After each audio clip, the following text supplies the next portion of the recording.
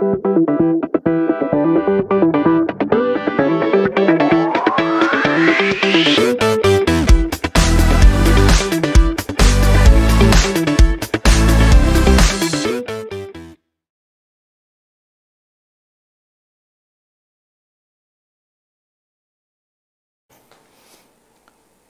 let's see the next aspect that is double plus double. First I said now non-carry type. First deal with non-carry then go for the carry okay.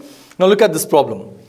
24 plus 32 how much? As I already told you in Vedic math we calculate from left to right not right to left okay. Since both are non-carry it's as easy as that you can just write from left to right. The answer is 56. Like 43 plus 23 how much? Add from left to right. It's 66. Like 27 plus 12, how much? Add from left to right. 2 plus 1 is 3, 7 plus 2 is 9. So whenever you get non-carry type questions, they are so natural as I told you. Non-carry numbers are natural additions, okay? So just finish off the exercise given to you in this non-carry type double plus double method and get back to me. We'll go for the higher level. Okay, now we'll go for the next type that is double plus double carry type. What to do when you get a carry type, okay? Let's take a problem like this. Something like 37 plus 29 how much okay we apply the same technique what we learned in the previous plus single carry type okay? But here we have one digit more now first look at this. Add from left to right. First add 3 plus 2 how much you get? You get 5 right? Okay initially show the basic method. Put 5 there okay? Now observe the next place. Is it a carry combination or non-carry combination? It's a carry combination right? So what do you have to do? Think one number more. Ekadhikena purvena. So the 5 becomes 6 now just think of the end number in the ones place, okay? 7, 9, end number is 6, the answer is 66.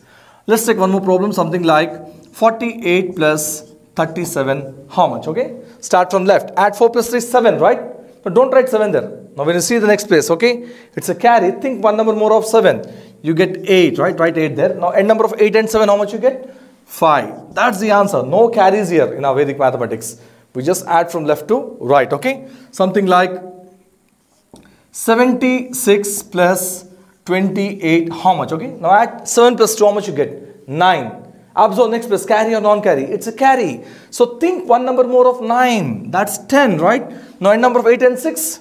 You get 4. Your answer is 104. Okay. Let's take one more example. Something like 69 plus 87. Okay. Now add 6 plus 8. You already know the end numbers, right? 6, 8 and number 4. 4 means 14. So next plus is a carry. Think one number more. 15. Now here in the first place, no end number. Think the answer directly. Okay. So 14 means 15. Now end number of 7 and 9 is 6. The answer is 156. Okay. One more example, something like 78 plus 69. 7 plus 6 is 13. If you're perfect in end numbers, you can do that. Okay. So 13, one number more is 14 because next place it's a carry. End number of 9 and 8, it is 7 and that's the answer, 147. Okay something like 69 plus 18 how much so look at this 7 this place right 7 but write 8 there 8 and number is 7 the answer is 87 it's as simple as that. We don't apply any carry and linear thinking here. We just add from left to right and apply the lateral thinking. Now finish off the exercise given to you in the material and get back. We'll go for more higher aspects